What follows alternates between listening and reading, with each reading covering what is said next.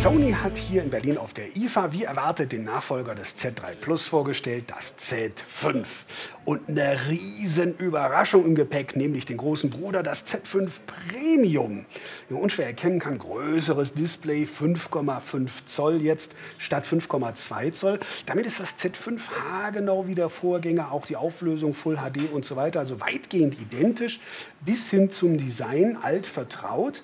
Kleiner Unterschied hier, aber feiner Unterschied, wie ich finde. Die Rückseite, zumindest bei dieser Variante hier, ist jetzt mattiert. Zum Vergleich nochmal, das ist ja sozusagen der Klassiker hier in Hochglanz.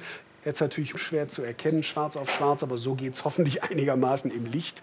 Aber ihr kennt es ja wahrscheinlich alle. Das heißt, äh, ich finde das ja persönlich sogar noch ein bisschen eleganter und netter und vor allen Dingen auch mal was anderes mit dieser mattierten Oberfläche. Aber das ist natürlich nur Designfrage. Technisch hat sich natürlich auch einiges geändert. Beispielsweise geht es schon mal los hier beim Premium. 4K-Auflösung. Tada, Weltpremiere dürfte das wohl sein, meines Wissens nach zumindest. Das erste Smartphone, das ich jetzt zumindest auch definitiv in Händen habe mit 4K-Display hierzulande. Bedeutet 2160 mal 3480 Pixel.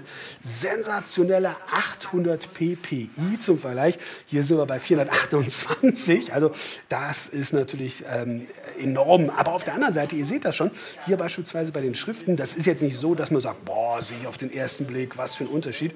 Muss man sich natürlich in der Praxis mal angucken. Das werden wir natürlich mit den finalen Kandidaten noch machen. Bildvergleich, was sieht man mit bloßem Auge. Aber Sony behauptet natürlich, dass das einen riesen Unterschied machen ähm, soll. Das kann natürlich sein, aber wie gesagt, das müssen wir dann noch mal abwarten. Richtig geschraubt hat man außerdem an der Kamera. Die hat nämlich jetzt nicht nur 23 Megapixel statt 20,7 wie zuvor. Das heißt also nicht nur ein bisschen höhere Auflösung, vor allen Dingen komplett neues Modul, general überholt. Erstens, neuer Sensor unten drunter, neue Software und vor allen Dingen neues Linsensystem inklusive teilweise optischer Bildstabilisierung. Der andere Teil, also auf einer Achse, der Z-Achse, der andere Teil soll digital gemacht werden und die Kombination soll laut Sony noch bessere Ergebnisse produzieren als Vergleichsgeräte, die nur einen optischen Stabilisator haben.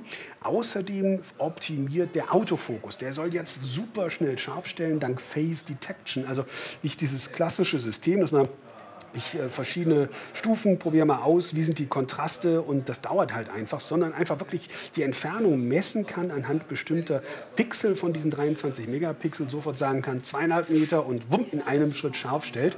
Das soll angeblich in 0,03 Sekunden möglich sein.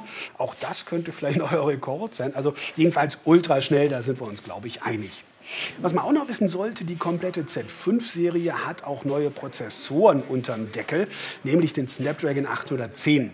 Macht jetzt keinen Unterschied im Vergleich zum Z3 Plus, da war ja auch schon der 810 drin, aber zum Z3 und Z3 Kompakt und so weiter. Vor allen Dingen muss man natürlich jetzt sagen, ob das die beste Wahl ist, das muss man im Test erstmal abwarten, denn ihr alle werdet ja wahrscheinlich gehört haben von diesen Problemen des 810, dass der heiß wird, dann wird die Leistung reduziert, Akkulaufzeit beim Z3 Plus beispielsweise auch nicht so doll. Deswegen, ähm, aber dafür hat es gerade ein Update gegeben, auch fürs Z3 Plus, gerade von Sony jetzt auch. Deswegen muss man einfach mal abwarten, wie sich das mit dem neuen Update und der neuen Software und dem neuen Prozessor und dem neuen Panel tatsächlich dann wirklich in der Praxis schlägt. Da kann man jetzt wirklich nichts dazu sagen. Ja, ansonsten ist es tatsächlich dann äh, weiterhin staubdicht und wasserdicht, was für eine Überraschung. Und zum Abschluss hier noch ein Wort zu dem neuen Ein-Aus-Stand bei Taster hier in der rechten Seite. Das ist nicht nur eine neue Optik, sondern dahinter verbirgt sich jetzt auch ein Fingerabdrucksensor. Bedeutet, ich habe das hier bei, beim Z5 vorbereitet. Da muss man mal anfangen, ein paar Mal, so ich würde sagen 15, 20 Mal seinen Finger einlesen lassen und dann kann man anschließend das Gerät unter anderem damit entsperren. Also einmal kurz drücken dann drauf liegen lassen und dann, weiß nicht, halbe Sekunde, Sekunde ungefähr, ich mache nochmal, drücken, drauf liegen lassen. Ja, eher eine Sekunde würde ich jetzt mal schätzen. Das ist natürlich klasse, weil man hat Sicherheit und Komfort in einem. Angeblich soll man das Gerät jetzt nicht überlisten können mit anderen Fingern. Ich probiere es jetzt mal aus hier mit dem, aber wie gesagt, das ist jetzt komplett anders, erneut versuchen. Also ähm, so ganz easy wird es wahrscheinlich nicht gehen, aber ihr alle wisst, man kann diese äh, Geräte austricksen, das ist klar. Da ist hier das System nicht anders als beim iPhone oder sonst wo, aber trotzdem ist es besser als nichts, sagen wir mal, und sehr komfortabel auf jeden Fall. Ja, beide sollen verfügbar sein ab Ende September ähm, und dann auch äh, zum Preis von 699 und 799 Euro. Und abschließend sage ich noch mal ein Wort zu den Akkus. Da kann man natürlich jetzt nur die Milliampere-Stunden nennen, aber trotzdem, auch das sei jetzt nicht unterschlagen, 2900 hier an der Stelle beim Z5, also sogar noch ein bisschen weniger als beim Z3 Plus, das hatte 239, aber wie gesagt, neue Technik, kann man absolut noch keine Rückschlüsse daraus ziehen. Das Einzige, was ich jetzt mal riskiere, ist hier beim Z5 Premium, weil der hat 3700 Milliampere-Stunden, gigantisch, das sollte selbst für ein 5,5 Zoll Display in 4K und einen Snapdragon 810 locker reichen, dass man da gut über den Tag kommt. Aber auch da, man soll den Tag ja nicht vor dem Abend loben, müssen wir den Test erstmal abwarten. Es wird auf jeden Fall hier bestimmt ein bisschen besser ausfallen als beim kleinen. Auch das ist, glaube ich, klar.